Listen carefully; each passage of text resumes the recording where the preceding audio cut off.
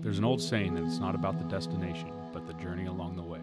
But when it comes to overlanding, it's both about the journey and the end destination.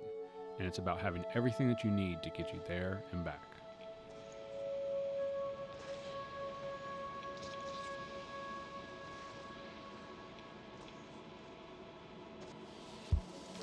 We're not going to be turning this into the ultimate overland rig.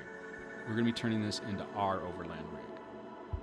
Everything that we're going to be doing on this, while it's going to have some style, uh, it's firstly going to be thought of as what function is it going to do? What is it going to do to improve the factory setup? What is it going to do to help us when we're out in the middle of nowhere, um, whether we're camping or whether we're doing a photo shoot or a video shoot?